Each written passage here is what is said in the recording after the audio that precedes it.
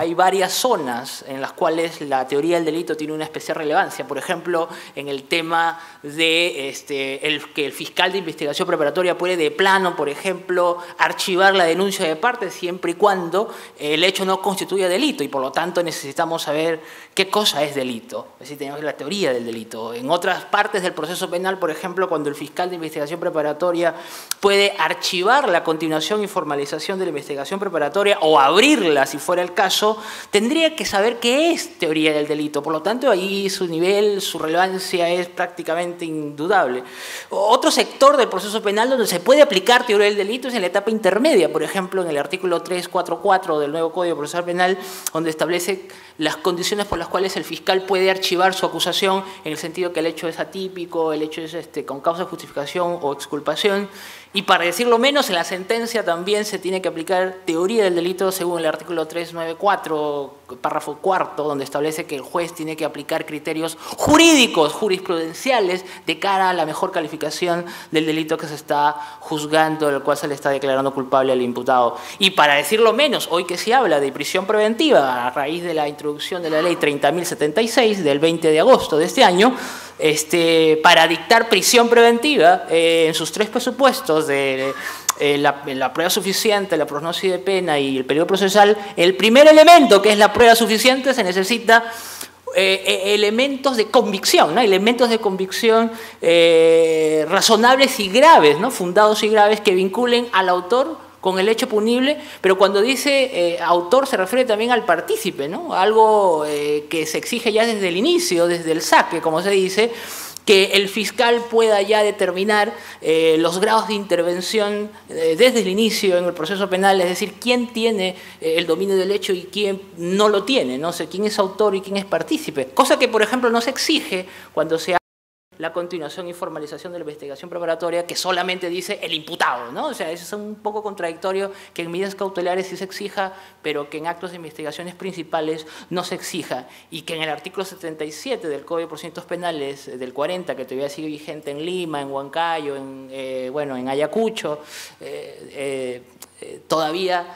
por ejemplo, se exija, ¿no? Se exija, y está bien que lo diga así la ley, que quién es autor y quién es partícipe ya desde el auto, desde el auto apertorio de instrucción. Entonces, con lo cual me parece que la teoría del delito sigue vivita y coleando en el proceso penal desde que todo, digamos, es trasvasal la, relevancia de la teoría del delito en el proceso penal. Y a raíz también de lo que decía el doctor Hurtado Pozo en el tema de las teorías dogmáticas del, delito, en la cual en el Perú y creo que toda Latinoamérica ha recepcionado de la escuela alemana por intermedio de la escuela eh, española. Efectivamente, yo considero que eh, eh, por qué de repente las teorías dogmáticas tienen especial relevancia, por ejemplo, en el derecho penal, pero sobre todo en la parte general, ¿no? porque en la parte general del artículo 1 al 105, que establece toda la, gama de, instituciones del Código Penal peruano del 91,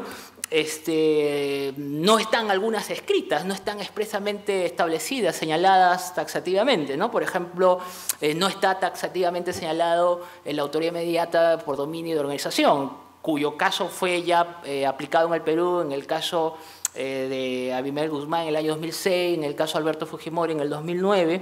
y en el caso del fiscal falso, que creo que fue el primer caso que se aplicó acá en el Perú, este, donde no hay, por ejemplo, eh, una, eh, una base legal que podría legitimar la aplicación judicial al caso concreto. ¿no? Y así tampoco, por ejemplo, hay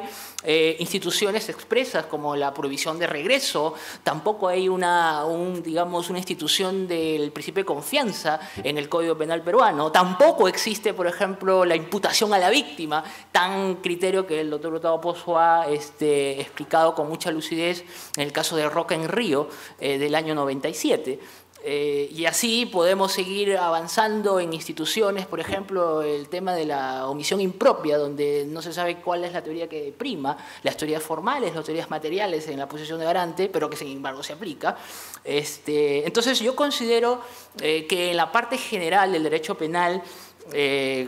como institución donde está regido por cuatro bien definidas, eh, cuatro elementos bien definidos, ¿no? Por el tema eh, de la ley penal, el tema de la teoría de la pena y el tema de la teoría del delito y el tema de las consecuencias eh, jurídicas del mismo. Entonces, me parece que en el tema de la parte general, señores, no se aplica o no es a rajatable el tema del principio de legalidad, que sí, por ejemplo, se aplica en el tema de la parte especial. ¿no? Por ejemplo, eh, no podríamos decir que es, es una estafa consumada del 196 el hecho de que no se haya cumplido, por ejemplo, el error este, la disposición patrimonial, el engaño o el perjuicio.